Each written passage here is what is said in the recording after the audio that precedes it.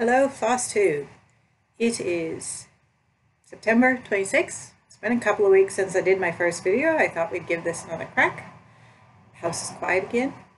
I knew if I didn't sneak in now and do it, it'd be at least two weeks till I get another chance because it's school holidays here. So the uh, kids are all at a uh, engineering uh, robotics class this afternoon. So I get a bit of peace and quiet to myself. Um, anyway, the last few weeks around here have been pretty stinking exciting. We've had bushfires. Closest it came was about two blocks from the house, and you know, that's just a bit close for comfort. A lot of acreage burned, but I think in the grand scheme of things, when it all was said and done, they lost like one shed in the whole neighborhood area that was affected. So I thought that was pretty impressive on the fireys to be able to contain that because there were some points where it was looking a bit crazy. Um, so yeah, big bit of it excitement there. And of course, we have a foreign exchange student staying with us at the moment. She's not exactly used to bushfire Australia prone environment, so I think she got a bit of an eye opener when she saw just quite how close that all came to the house. But all good. Um, so beyond that, I have sent my eldest to Japan. She is off gallivanting without her mother for two weeks, I think, with her class. I'm going to have to do something about this whole reflection on the glasses, apparently. I had that problem last week, um, a couple weeks ago. Yeah, so she's having a great time, I think, seeing all the sights and exploring and not having to listen to her mother. So, yeah, I think we. She's been gone about three days, so we'll see her back in about a week and a half. I think she's having a great time. Um, as far as stitching, I have mostly been racing the clock still on the um, Chatelaine threads arriving. So been working predominantly on that Teresa Wentzler. I will show you in a minute. I don't think I was smart enough to put it within reach before I sat down. We'll have to deal with that. And the Save the Stitches. Um, I do have the Save the Stitches here, so let's look at that first. So you see? I can't quite remember where I was up to I filmed the last video, but I'm sure all the black in these diamonds along here must be pretty well new, and then everything below it. I currently got it all blocked out all the way down, and I'm going through just doing, if you can see, just the black parts. I'll go back in and fill with metallics after I finish the black. But I have to decide what I want to do with metallics. It's picked three colors that kind of match the fabric. Let's see if we can get this to work. So you can see the sheen from the blue. This one has some green. And this one has gold. So I think generally I like the subtlety of the, you know, just a little bit of color that kind of matches the fabric. But some of them, I've ended up doing two strands of the metallic thread. And some of the blocks, like that diamond up the top, don't think it likes focusing. It looks really gobby. Um, what can I put behind it? Craft supplies to the rescue.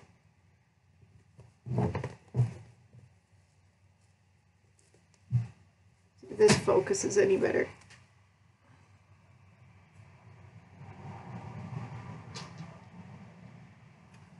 I'm not sure if that focused any better or not. Anyway, I reckon that particular diamond looks a bit gobby. And so I was debating whether or not I should be using some of these blocks with two threads and some with one. Basically, if it looks gobby, go back to one. Whether to persist with two and everything. This is the other one. It's gold on the end. Basically makes it look like it's just a great big knot in the middle there. Um, rather than, you know, two circles, uh, not circles, squares, diamonds. So I don't know what to do about that. The other thing was I went and I bought darker versions of the color. So a dark blue, a darker green, and a brown. I'm debating whether I should rip the gold, light green, light blue out and replace it with the darker um, colors. But like I said, I kind of like the subtle stuff. So, I don't know. If you have any great ideas for me, let me know. Because eventually I'm going to get to the end of the black and I'm going to have to make a decision. And, you know, that's hard. Decisions are very hard. So, that is that project. I use that one mostly when I'm traveling, so that's why it's been pulled out lately. We uh, had to take my daughter to the airport which is four hour drive from here to get to Cairns. And um, four hours is a long time to spend in the car, so I stitched. Fortunately, my husband drives. And unfortunately, we had to bring two cars back from Cairns, so I had to drive too. And that kind of stunk because there was no stitching. Um, yeah, so anytime I have to go in town, sit, watch somebody play a football game or whatever it is that's going on, I'll take that one along with me just because when it's a single color, a thread, and it's, so much easier to deal with than the Wentzler. Um, okay.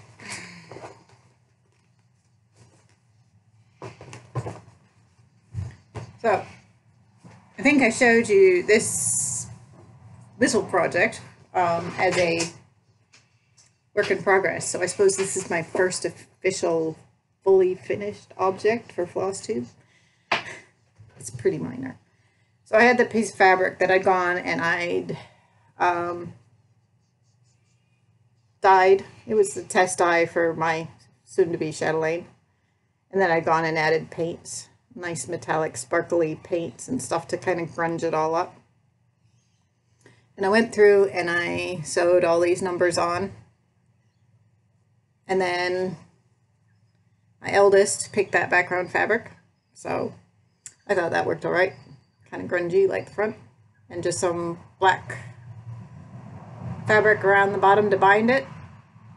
Um, and then in between the two layers, there's just a scrap of batting. My eldest is a quilter, so there's bucket loads of scrap batting and whatnot floating about the house. So I just scavenged a bit of that. I did get in trouble though. Clearly I did a crowdy job of kind of making my quilting line in the middle. But given it's just a work tool, I don't really care. But when she saw how much movement there was, I got a bit of a lecture about how I didn't do enough quilting wrong. You shouldn't have that much movement in your blocks. So clearly I should have put another quilting line, maybe one, two more, and split it up evenly, but you know. But it's a tool. So basically on my chart, I will have a, one of the symbols will have a little 10 written next to it, and that's that thread color. So when I get to working on more color changes, and I find one that's got numbers written next to it, I know I don't have to go thread a new needle. I've already got one started and kind of shortcut that process.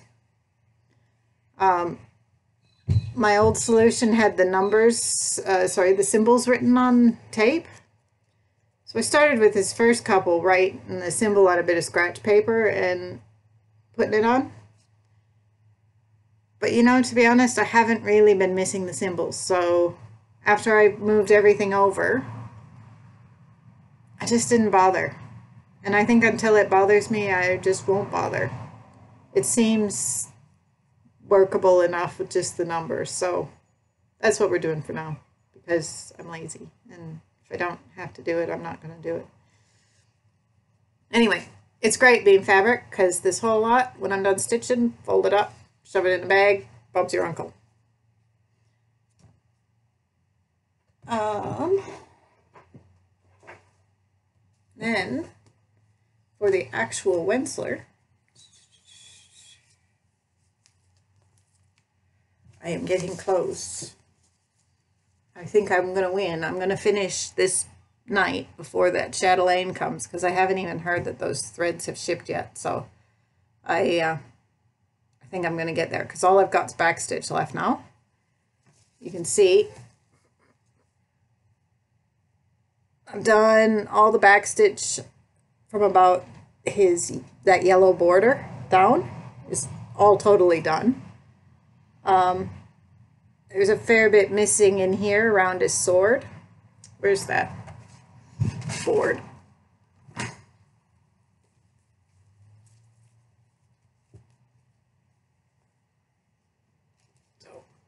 there's a fair bit missing still in around his sword and his cape and the horse's head that needs to go in. Um, then I think up the top, it's more or less his body's done. So it's just basically his face needs to go in because he looks a bit freaky without a face. And his helmet. So I don't know. I'm hoping another couple, maybe even tonight, if I really sit down and put some effort into it, I can finish that up. Um, I got all the specialty stitches done up that side. I don't think a few of them were done last time I showed you guys, but not the whole lot. So I'm pretty pleased with how that's turning out. The backstitching always makes it look so freaking awesome once you get all that detail in there. And I think there's some metallic cording that runs over the top of that seashell thing. I may leave that for the very end when I do the beading. Um, I don't know. I anything that lays real loose like that, I tend to leave it right till the end, just so it doesn't get abused while you're um, stitching. Because I stitch in hand, so everything's got to be a bit durable, so it doesn't just get gobbied up in my fist and ruined. Um. So yeah, I'm pretty pleased with that.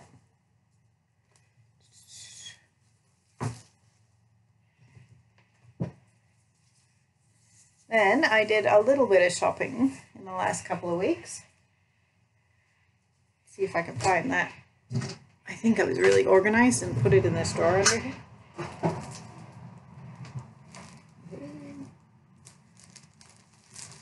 So these first two I found just on a stash unload type thing. But my mom's kind of big into Santas. So I thought, you know, I haven't made her a Santa in years. When I was little, I used to do, well, it started with my grandmother, who was big into ceramics, and grandma would make her a Santa every year. And then as I got to doing ceramics with grandma, I'd make her Santas too. So now she has Santas all through her house. They stay up all year long, all through her kitchen, all these Santas. And I thought, I haven't made her a Santa in years, so maybe I'll make her a cross stitch Santa. So there's that one. And there's this one as well. I'm not entirely sure which one I'll do. I'll grab them both. I think I like the other one better, actually. It's one of those, once you get one, you might as well get two, because, you know, otherwise postage for one, it's just waste. So, not going to get started in the next five minutes, but, you know, one day. Uh, the other thing that came in is I do a fabric of the month from Color Cascade. And, oh, that comes off really blue on the computer. It's actually purple. Not even close. It's really purple. It's like the purple, like, I reckon this would be perfect for like a little girl's birth announcement sort of thing. Something with the, um, you know, the unicorn, the lots of colors, really cartoony, you know, just screams that kind of little girl color. And of course, it's got the opalescence through it too. So look at how they sparkle on the computer, though. That's pretty cool. Um, so yeah, I reckon that would be fabulous use for that. Um, And it just says mystery fabric, fabric of the month for August 18. So I don't know. I don't know whether there's like a, you know, which color it was if you tried to like go to the store and order it from Color Cascades. I don't know. I haven't tried these fabric of the month things before. This is my second one I got. Um, and actually, I haven't stitched on these opalescent ones either. So this will be interesting to see. I need to actually try and see whether I like them. I kind of think once I've got a few opalescents, it's not something I'm going to want to do a heap on. So I'm hoping maybe a spot will come up in the plain fabric. But when I was querying, is it Tammy? I don't know. When I was querying the lady that is Color Cascade Fabrics, um, she didn't have any non-opalescent in the linen um, fabrics. So acquire a stash, accumulate. Clearly now I've got to go find a unicorn pattern. So if anybody knows, because I have a new niece, um, we're going back to see said niece in the States in a couple months. So if anybody knows of a really cute unicorn birth sampler for a baby girl, let me know because I reckon that'd be perfect. What else have I got in here? All right, my last project or acquisitions. I went and I bought fabric to do um, project bags because I've just been using these clear ones, but they're nowhere near as fun as when they're pretty and, you know, beads and blingy and whatnot. And I got a sewing machine. I thought, oh, I'm going to make myself some cute project bags. So I went and bought fabric. This one, so first I saw this one with the Eiffel Tower on it. And I love that fabric to start with. For anybody who's a scrapbooker, it just screams Tim Holtz. And I love Tim Holtz's stuff. So I picked that up. But then in addition, um, last year's foreign exchange student was from France. And she used to look at this stuff that would come with the Eiffel Tower on it, and she'd think, oh my God, the Eiffel Tower's on it again. How dorky is that? And so now every time I see something with the Eiffel Tower on it, I think of Mathilde. So I picked it up so that I think of Mathilde, and that'll be the inside of that bag. And I picked that one to go on the outside. I was kind of looking at some of these patterns where there's one main fabric and then a contrasting one. So I don't know, maybe I'll pick up a third fabric to make that contrast or maybe I'll just make it all in this kind of cool thing. I don't know. I haven't decided yet. We'll get there one day. My problem is I need to hopefully stitch these before my eldest comes home from Japan. Otherwise she gets so cranky when I steal her sewing machine. You know, I bought the sewing machine but she thinks it's hers. And her usual logic is, Mom, if you buy me a fancy embroidery machine, then I might give you that one back. Yeah, she needs to save her pennies. The other one I picked up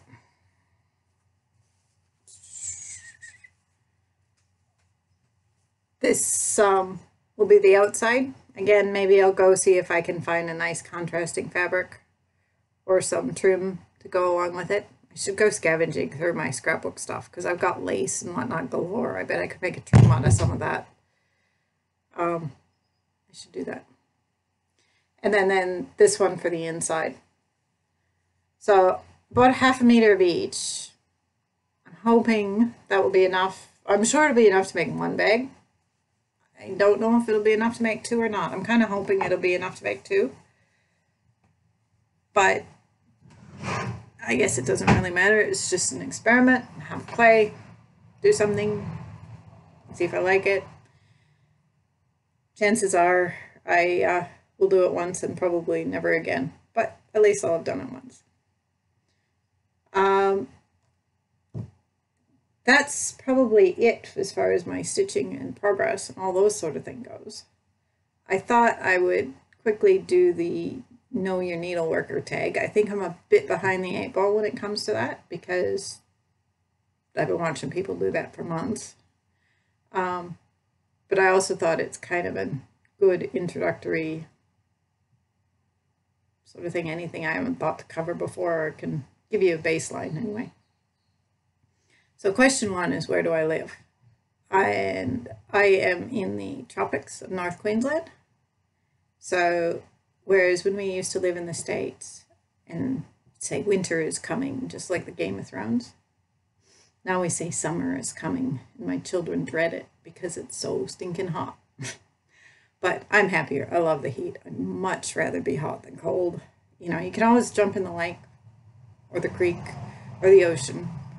Um, but yeah, I, would so much rather be warm than cold. So, so we're currently living in North Queensland.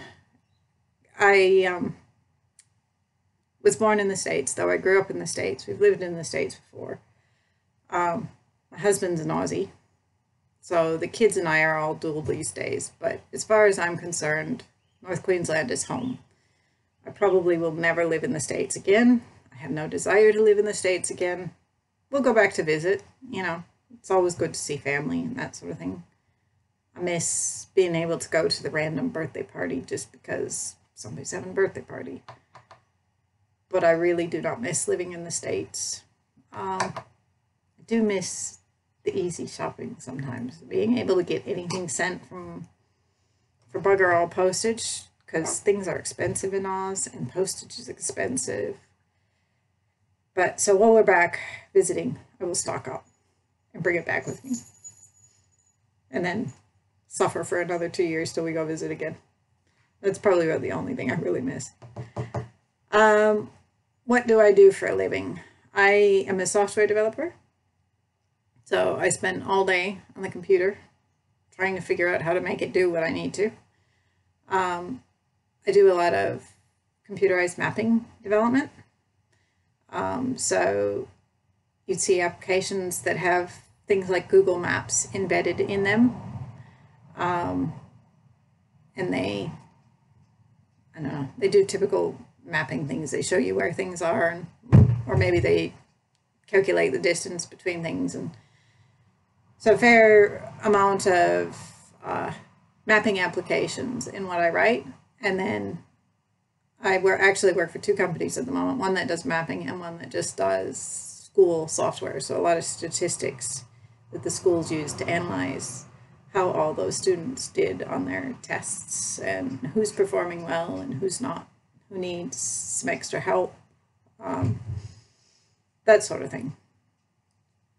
So it pays the bills and, you know, it's relatively easy. I'm not um, out working in the sun or up at odd hours of the night, you know, the way nurses are and stuff. So it's a good job. I don't mind it. Um, yeah. Do I have any kids? I have three kids. I have my eldest, who's 15, I think be in trouble if she sees this video because mom doesn't know. I think she's 15. That's the one gallivanting around Japan at the moment with her classmates. Apparently, next time I film this video, I need to put a weight in front of that door because it keeps banging, and I assume you can hear that. Um, we need to redo the door handle. It's stuck, and I was stuck in my office for well, until my husband could come along and let me out. So we took the whole handle off. And so now when you shut the door, it doesn't actually close and the wind blows it. Um, so other children. Number two is another girl at 13. Um, she's very artistic. She loves her drawing. Um, a lot of drawing at the moment. She, um, her birthday choice, she could got to pick a birthday present. She wanted Prismacolor pencils. I thought, you have expensive tastes in craft supplies, dear. So she got her Prismacolor pencils, and she's been doing some pretty neat stuff, actually. Um, and then the little one is 10, um, a boy. So, yeah. He um, is your typical boy, likes your sports. Can't say he's very good at them. He takes too much after his mother and father, who absolutely suck at sports. But he likes them. He's a social butterfly. You know, has friend with everybody in school, always has some party or something he wants to go to. And I suppose I have an honorary child at the moment too, being our foreign exchange student. She's from Italy and she was supposed to be here for three months. So the original plan was actually that she'd go home in about three, four days. But she got here and she really likes it here. And so she rang up her mom and dad and said, I don't want to come home. And so now she's staying till the end of the school year in December. So all of a sudden, I have a very, a much stronger sympathy for my own mother because when I was in college, I came to Australia. I was only supposed to be here six months. And about three months into that six months, I rang up my parents and I said, Oh, it's really great here. I'm not coming home.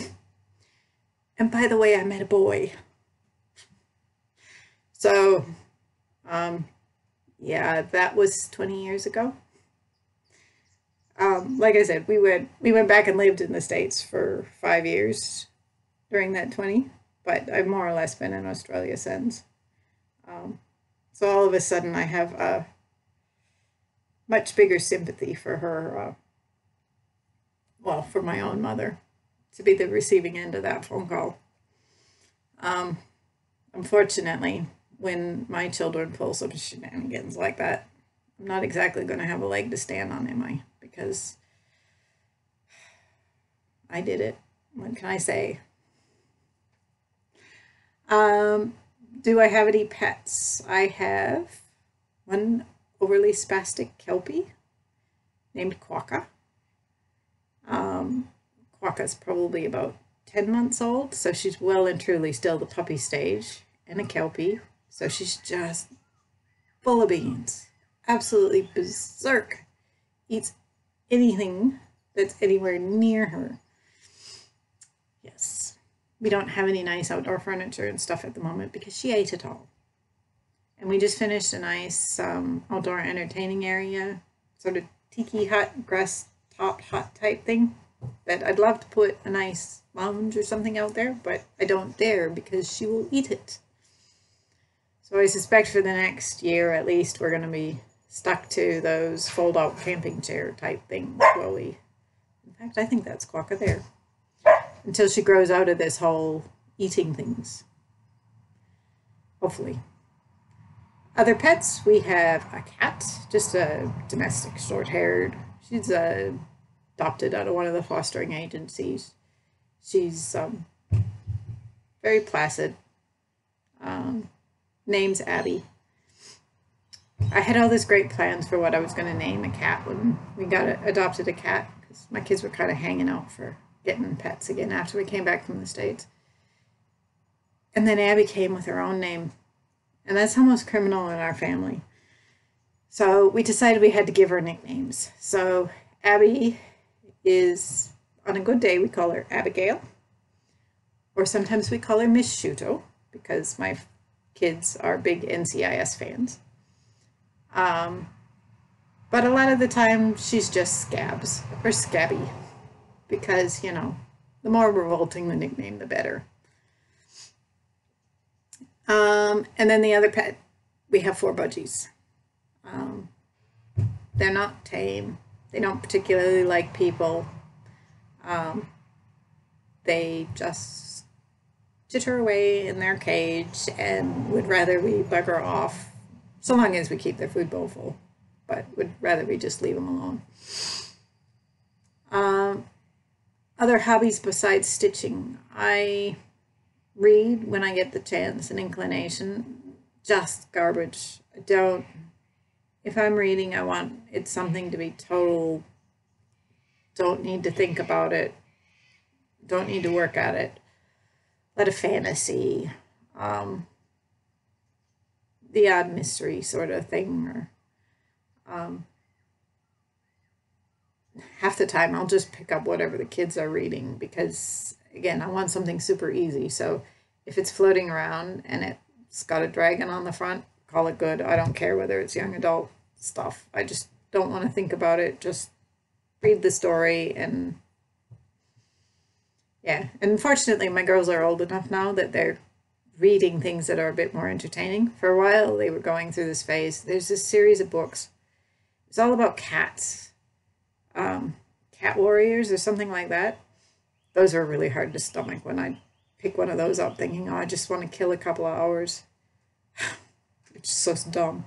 But fortunately, they've got a bit better taste now, so it's usually a pretty good bet. If they picked it up, I'll at least be able to tolerate it. Um, other hobbies, basically anything kind of crafting. Um, haven't done so much lately, but I used to do a lot of scrapbooking, card making. I think I mentioned that in the last video. I've had to go at just about everything that involves crafts at one stage of time. I think knitting and crochet is about the only thing I haven't that I see a lot of people do. And yeah, I just I've have no interest in having a go. I've never had a go. Maybe one day, but not today. Um, what's my favorite movie? Well, I don't know that it's like, it's certainly not the favorite as in the one you'd sit down and watch 50 times. But the favorite is in, uh, gosh, I really remember the good times that was definitely Rocky Horror Picture Show. Some of the shenanigans we got doing college and those nights and the midnight showing. And I miss that group of friends. That was a lot of fun. So that movie, like it's, you sit down and watch it, it's a dumb movie. But it's got such a soft spot for the atmosphere and the friends, and it's hard to go past it. And I just saw something the other day that just made me laugh. Um, I gather Disney and Fox have merged. I had no idea this was coming. Hmm. I don't pay attention to that kind of thing. But because Fox owns Rocky Horror, the comment was that Frank-N-Furter is now the uh, official Disney princess, and I thought that was just hilarious. So, all good fun. Um, Favorite TV show? That one's hard because I, I suppose I'd have to say NCIS just because that's what as a family we've been watching lately. Or no, I know Red Dwarf. Um, which is funny because that's a very English comedy, and I freaking do not like English comedies for squat. But Red Dwarf is great. Um, but again, it's quite old. Um, I think they were releasing a couple of new seasons in the last couple of years, but I don't know that we've seen them. Um, yeah, that's pretty good. Um, favorite book. Um, I tend to read books that are like a big series. So I really enjoyed the Wheel of Time series, although by the end, it was a bit hard going trying to keep all these plot lines in your head and it and so long between books coming out and you'd have to reread the previous book when the next book came out and so that gets a bit hard work and like i said i'm kind of lazy i don't like hard work but i did enjoy that series once i got over the whole confusion and, and reread things and got back on sync with it. Um, I did read this Game of Thrones, and I don't know, like the first book was good. The the TV shows that they did were pretty good. I like the general storyline, but again, I don't like this whole waiting. I think it's been four years more since I read the last book, and the next one's still not out, and so I kind of lost interest and really have no desire to go back and try and figure out where the last book was at to pick up the next one. So, um, and basically, if it comes as a series, then you can, and if it comes as fantasy series, you can pretty much figure out, read it. I like it. Um, favorite music. Um, I suppose the one that gets a laugh out of the moment is actually um, he's a comedian, but he does comedy set to music. Um, his name's Tim Minchin. And let me just warn you if you have issues with picking fun at religion or language, do not go Googling Tim Minchin's songs. You will not like them. Um, he does have some more generic for all generically palatable songs, but he he likes to poke fun at the religion, and he certainly has no qualms about using coarse language. Um, but yeah, I he he's actually an Aussie boy. He um, is from Perth in Western Australia, which is how we kind of got onto him. He was doing one of these traveling comedy road shows early in his career and the fact that his comedy was set to music, I just freaking I love that. Um, and so we've followed him since. He did the music for Matilda, um, the Broadway musical, which again you can tell it's really his work. There's something distinctive about his work, and I'm not a music enough person to be able to really put my finger on it, but I reckon you can see his cleverness coming through even in that music that has nothing to do really with his general comedy routines. Um, anyway, so he's he's probably my favorite because you know I always love a laugh. Um, what word best describes you? That one's hard. I feel like everybody on FlossTube would say crafty or something like that because we all tend to be in that kind of vein or we wouldn't be here to start with. Um, disorganized. Always feel like life is three steps ahead of me. Um, yeah, I don't know. Sort of the crafty I don't know. It is what it is. What you see is what you get. I um yeah. I don't have much patience for putting on a persona or whatever that I want the world to see or any of that sort of business. It's just I am who I am, take it or leave it and that's all there is. So if you can come up with a single word with that sort of sentiment, put that in there. Um, so I think that covers all the questions for the Know Your Needleworker tag. And I'm impressed. This is like 37 minutes on my timer. But I better sign off because it's 5 past 10. And my guess is the others are about 5 minutes away. So... I will talk to you next time. And hopefully those Chatelaine threads will have arrived and I can start. See you then.